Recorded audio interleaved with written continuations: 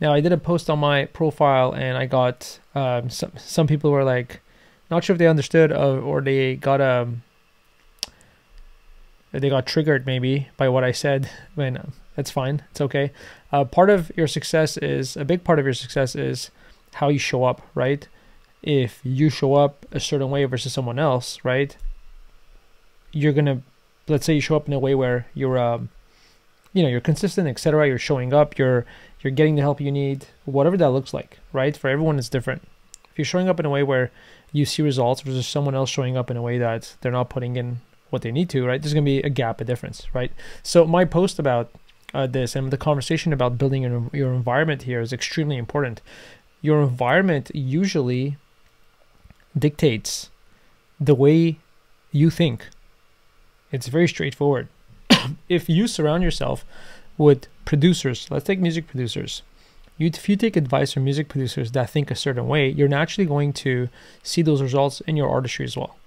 So it's extremely important where you assess the situation you're in, the environment you're in, right? Who are the producers that I tend to take advice from? Who are the producers I take to uh, I, I tend to let's say um, just spend time with, chill, maybe hop on Zoom chats, maybe actually chill like live, right? Whatever it is, assess your situation. And I'm not saying delete people from your life. Just if you identify individuals that have loser talk mentality, if you identify individuals that are always complaining and pointing finger outwards in terms of issues that are happening in their career, examples of those might be well, the market's saturated, that's why the music industry doesn't make sense. Or thought processes where you can never make it in the music industry unless you're lucky or thought processes that are always blaming on factors outside of themselves, right? You want to find a way to just spend less time with around that thought process, right? Find people that encourage you, that motivate you, that raise you up, right? Because the way you're going to, the micro decisions you're going to take in your life and your production life are going to be highly influenced by the, the people you spend time around with. This applies to, this is not a music thing, right? it applies to everything you try to do in your life. But it's extremely important. What I'm explaining right now is way more important than learning how to use a compressor.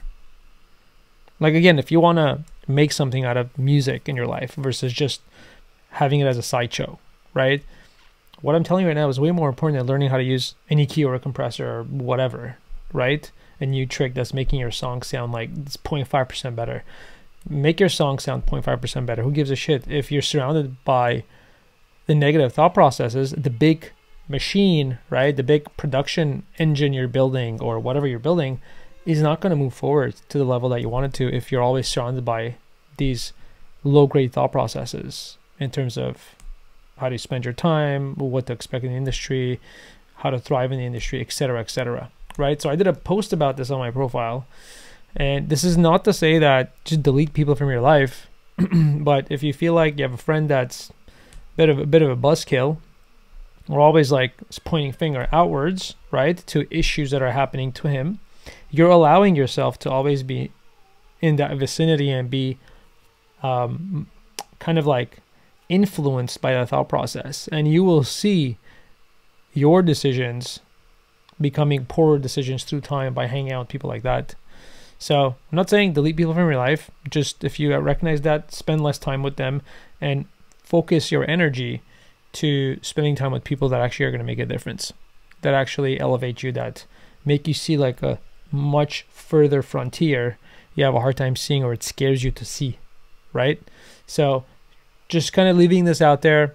If you guys have any questions, please reach out. If you guys know people that would benefit from being in this group and learning from my teachings and the overall conversations that are going on, don't uh, don't hold, hold yourself back. Invite them over. As long as they're serious about producing music, they're more than welcome to grow the community. I hope this has been helpful.